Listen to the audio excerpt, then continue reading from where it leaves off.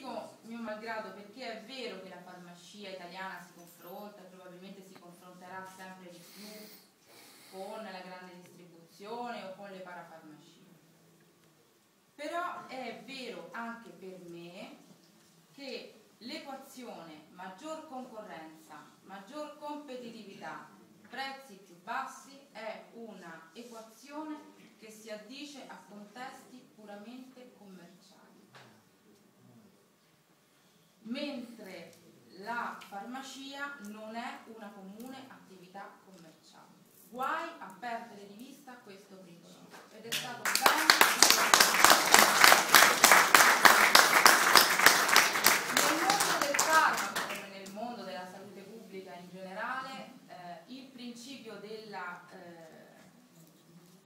dell'efficienza ecco, deve cedere il passo al principio dell'equità. Nel mondo del farmaco il prezzo è fatto dallo Stato, quindi non è vero o non è detto che maggiore competitività non è detto che significa sempre vantaggio per i cittadini. Quindi tornando poi al quadro normativo, abbiamo la lettera della Banca Centrale di quest'estate, noi leggiamo le sfide principali saranno l'aumento della concorrenza, una complessiva, radicale e credibile strategia di riforme, inclusa la piena liberalizzazione dei servizi pubblici locali e dei servizi professionali. Quindi già dall'azione del prossimo governo, gli articoli di stamattina ci danno notizia di eh, riunioni intergovernative eh, interministeriali scusate, di, fatti ai, ai, vertici. In generale noi dall'azione del prossimo governo una modernizzazione ce la dobbiamo aspettare. A questa modernizzazione noi non vogliamo sfuggire. Questa è la, secondo me, la Quindi non dobbiamo sfuggire perché qual è il rischio? Il rischio è che ci si presenti in posizioni di arrocco per eh, mantenere qualcosa che molto spesso è qualcosa di giusto, ma che altrettanto spesso viene eh, veicolato come privilegio. Non è sempre così.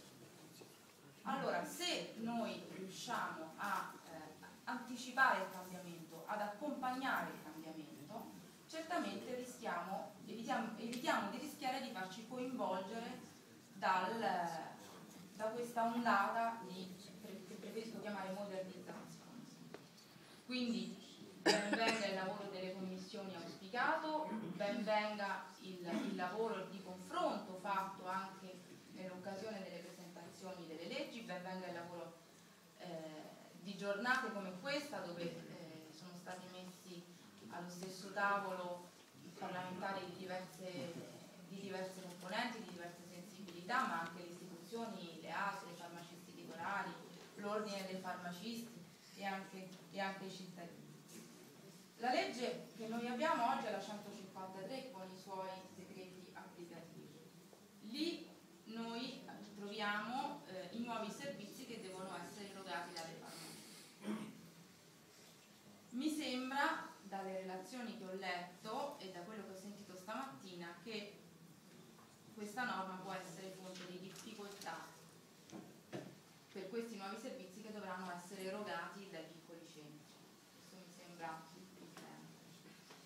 Perché eh, è, è, fuori dubbio che la, la, la legge è stata fatta per individuare vantaggio per i cittadini, però è anche altrettanto ragionevole comprendere le difficoltà, immaginare le difficoltà di fronte alle quali si troveranno le farmacie dei piccoli centri, anche le difficoltà economiche, per riorganizzare la propria offerta. Allora bene le collaborazioni con altri presidi sanitari o altre strutture d'accordo con le ASL per questo nuovo modello di servizi. C'è stata la testimonianza del, dell'esperimento ben riuscito dei, dei PHM ma dobbiamo sapere che una piccola farmacia, dobbiamo ricordare che una, pic una, piccola, una farmacia di un piccolo centro, di una zona disagiata di una zona rurale, quando deve organizzare la propria offerta va incontro a difficoltà anche eh, leggevo la connessione, avere la connessione sulla rete internet può essere una fonte di difficoltà. Poi abbiamo le normative applicative della regione. Eh, per fare un nuovo servizio serve la sala d'attesa, la normativa antincendio, il padiglione per l'uscita eh, di sicurezza, gli spazi per la tutela della privacy. Di queste cose bisogna tenerne conto quando queste le leggi ci stanno, la norma c'è e noi ne dobbiamo assolutamente, ne dobbiamo assolutamente tener conto. Secondo punto, stato molto dibattuto, è sulla liberalizzazione, anzi sulla vendita dei farmaci di fascia C in parafarmacia. Posso dire una cosa sulle parafarmacie? Io trovo questo termine brutto. Noi abbiamo, pensiamoci un attimo, noi abbiamo passato anni per superare il termine paramedico e adesso ne abbiamo introdotto uno nuovo, parafarmacia. Comunque credo eh, che sia fonte di possibile confusione e anche di eh, comportamenti sbagliati, perché noi abbiamo la parafarmacia che vende un parafarmaco che però a determinate condizioni può vendere anche un farmaco. Io lo trovo fonte di confusione a monte e possibili comportamenti sbagliati da parte del cittadino a valle. Quindi io credo che anche coloro che sono favorevoli a questa liberalizzazione sono comunque obbligati a fare una riflessione. La riflessione è in termini di rischio della eh, continuità, di perdita della continuità assistenziale che le farmacie di piccoli comuni, di zone di montagna, di zone disagiate danno e devono continuare a dare. Perché se in questi centri chiude la, far la farmacia, noi siamo di fronte a un duplice danno. Cioè a livello, eh, a livello centrale era stato deciso di rinunciare a un servizio perché lo avrebbe erogato la piccola farmacia, la farmacia del piccolo centro. Poi dopo qualche anno chiude la farmacia del piccolo centro e il servizio non esiste questo senso doppio danno anche per, per i cittadini. E, e alla fine di questa operazione noi corriamo il rischio di trovarci sul territorio nazionale con eh, il territorio sguarnito per due terzi, con poi il rischio della sovrabbondanza del, del terzo, del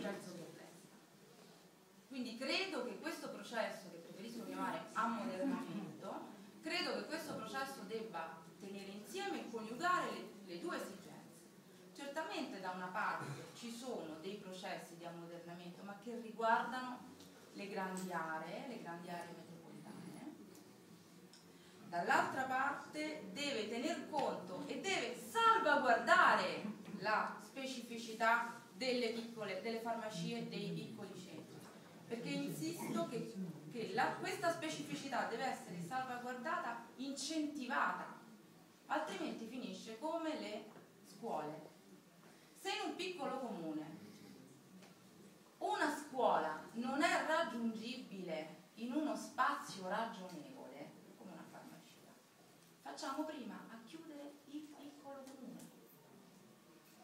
Quindi, in conclusione, negli ultimi anni abbiamo assistito a privazioni nei piccoli comuni, abbiamo ridimensionato le scuole, abbiamo chiuso gli uffici postali, abbiamo chiuso anche le caserme, quindi chi vuole fare una eh, liberalizzazione deve fare eh, questa riflessione. Se ci si rende responsabili di chiudere della chiusura delle farmacie rurali, che sono davvero un presidio sanitario, noi miniamo la continuità assistenziale dei cittadini di quei piccoli centri e quella comunità, quella continuità assistenziale, quella comunità travagliata, il comune la dà e la deve continuare piccolo comune la dà e la deve continuare a dare, attraverso anche la farmacia. Quindi se l'obiettivo del futuro possibile, e concludo, e l'intento della norma è quello di individuare nuovi servizi per le farmacie, noi dobbiamo sapere, non dobbiamo appunto sottrarci alla verità, che nel caso delle farmacie rurali